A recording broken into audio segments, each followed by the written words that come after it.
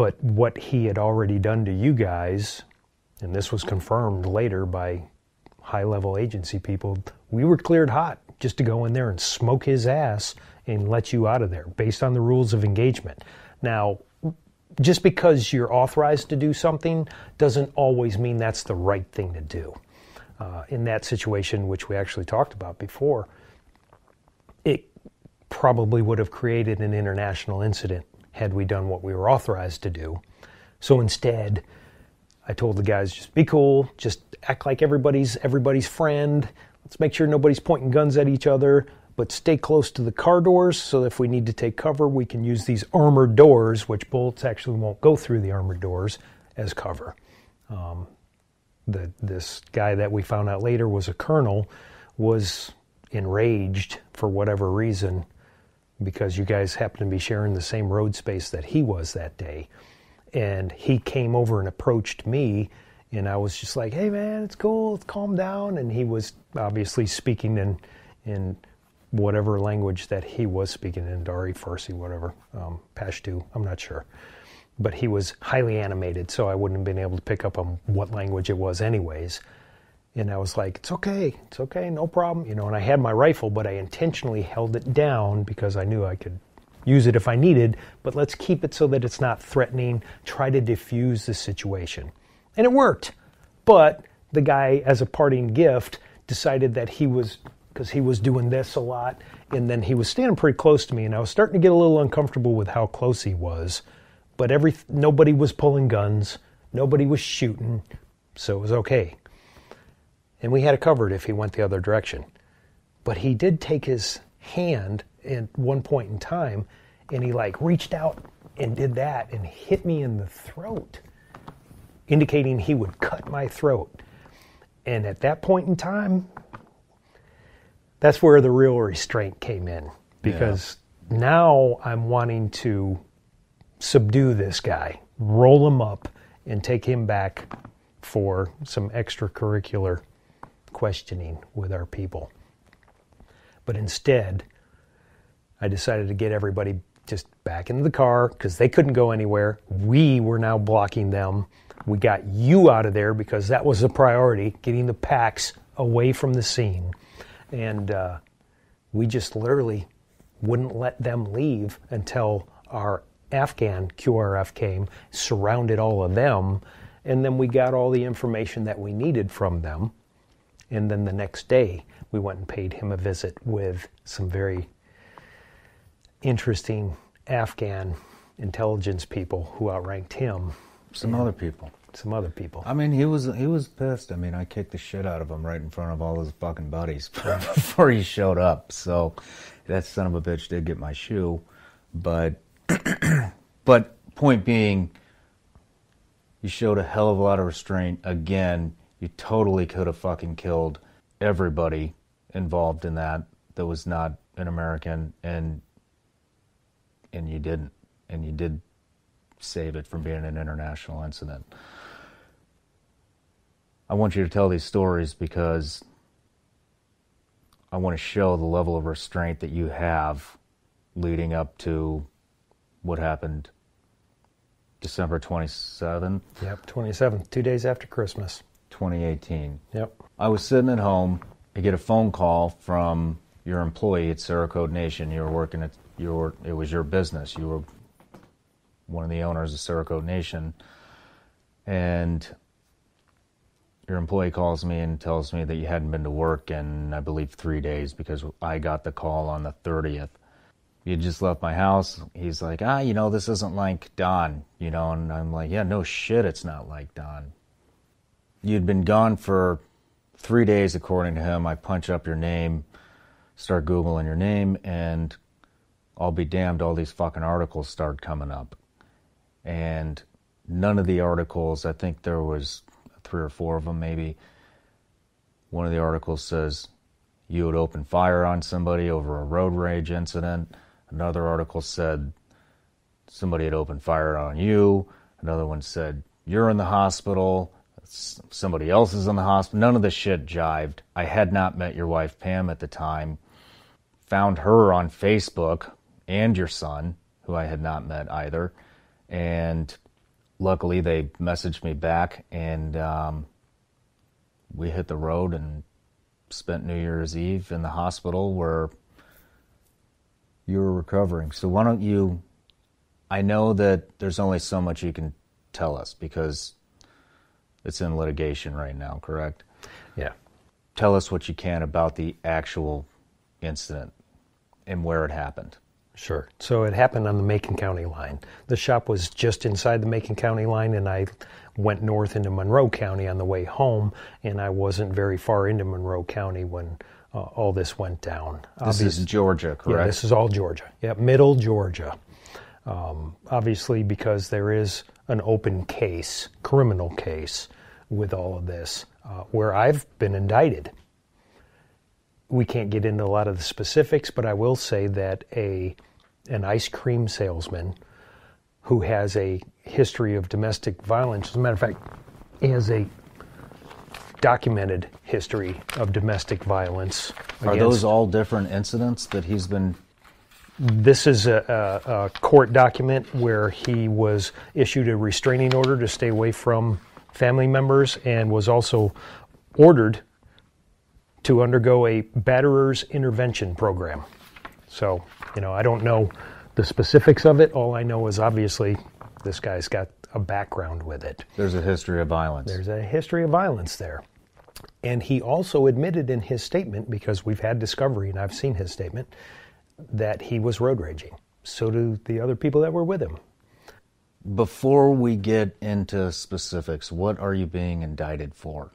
Aggravated assault, and I think it's possession of a firearm during the commission of a crime, I want to say is the other one. Okay. Something to do with having a firearm while it went Um, down. Right now, I already know the answer to this, but you need to say it. Are you innocent? Fuck yeah, I'm innocent. They literally have the situation 180 degrees. And think about it. He gives a statement, I'm fucking bleeding out on the ground, and then go to the trauma center where I later, 24 hours later, more than 24 hours later, undergo brain surgery. I never said much of anything until over two weeks later when I was well enough to actually tell my side of what had just went down that, or what had went down that day. Uh, but by that time, a strange thing had gone really disturbingly wrong. Apparently, even though they had my driver's license, got my license plate on my pickup truck, got my VIN number, got everything they need to identify who I am, they pulled the background of a career felon.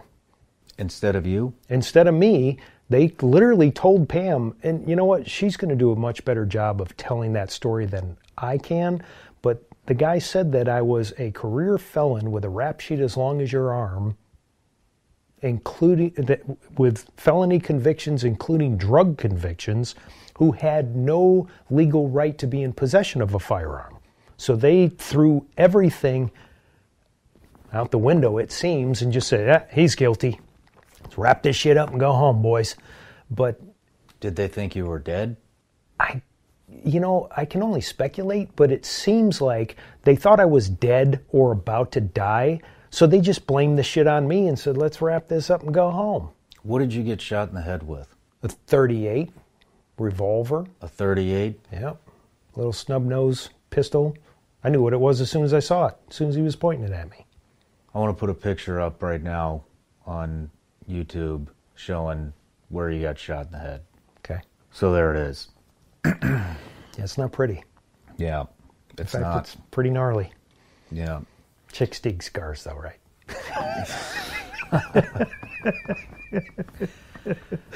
Yeah. Um, you shot in the head by a 38 revolver. Were you, I mean, was it instant lights out? There's there's not a whole hell of a lot of people in the world that live to tell the tale of being shot in the head. Was it lights out? Do you do you remember? I don't remember being hit. Okay. What's your first memory after being hit? Um, there was some real foggy stuff. I was in and out of consciousness. Um, the the first real memory I was actually in the emergency room of this trauma center being wheeled around uh, because I remember the movement was really really difficult because moving at all at that point, you know, with a freaking bullet in your brain was uh, messing with the, the wound, the injury. The bullet was. It, it was inside my skull. It's in there. Yeah. Is it still in there? Well, there it, it was. I, I'm guessing that it was a hollow point, and I think that's an educated guess, but it turned into a bunch of shrapnel pieces once it hit my skull. It, it broke my skull. I have a, a indentation to this day, and of course, it popped or shattered pieces in other areas where I got hairline fractures, spiral fractures, just a lot of shit. And the bullet fragments went in and they're literally sitting on the artery that feeds the right hemisphere of my brain. So they're Holy shit. literally surrounding it. Sharp little shards of steel, lead are sitting on top of that artery. I put the X-rays on the screen right now. Yeah, so big concern is obviously with the doctors. It's common to have seizures around the one year mark. If I have a seizure, one of those shards will almost certainly poke through that artery and it'll kill me. Well, we're right at a year. Yep. And uh, Yep. your CBD, old brother. call sign was lucky. Yeah. So let's uh, pray that that continues. Yeah. Well, with the help of CBD, because I tried using their anti seizure medicine for a few weeks and it just made me violently ill. So I switched to CBD. Um, now I live in Florida and I actually take medical grade CBD in Florida. Um, but that shit's magic. Well, that's good to hear that something's helping you, man. Yeah. So where was Pam during all this? You're in the hospital. We talked about your first memory. You're getting wheeled around. Where's Where's your wife? She's at home wondering where the hell I am. Well, speaking of your wife, we actually have her on the line. So, hey Pam, how are you? Good. How are you guys doing? I'm doing pretty good. So I have your husband sitting here, and we just got to the part where he was shot in the head. Now he's in the hospital. You don't know where he's at. Can you kind of walk us through a sequence of events on what happened from your perspective and also how you were treated after your husband's just been shot in the head? Sure. Um, usually Don beats me home from work. Um, so as the hours went by and I could not reach him by phone or text, um, every hour that ticked by, I was getting more concerned, scared, obviously extremely worried. Um, it was raining really hard that night. Um, so I had no idea what happened. I just knew something was wrong.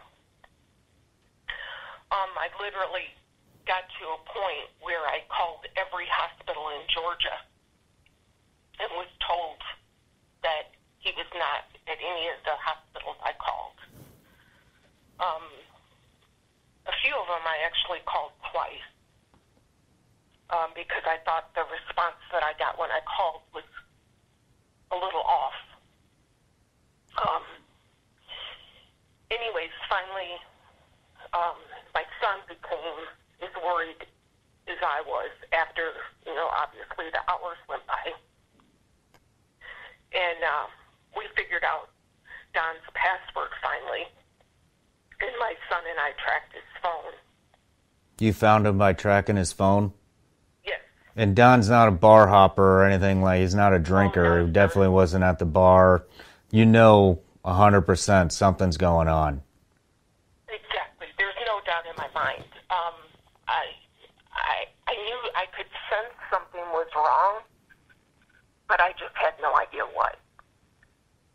Um, we pinged his phone, and um, it pinged behind a fire station. So I, of course, looked up the number and called the fire station right away. Told them